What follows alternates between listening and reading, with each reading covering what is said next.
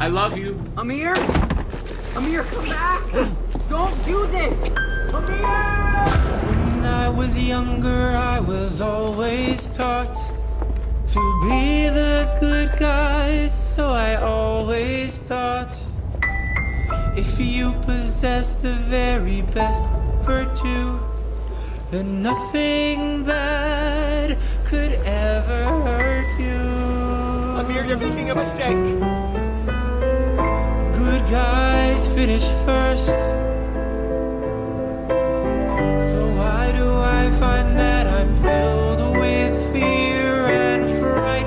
Good guys finish first.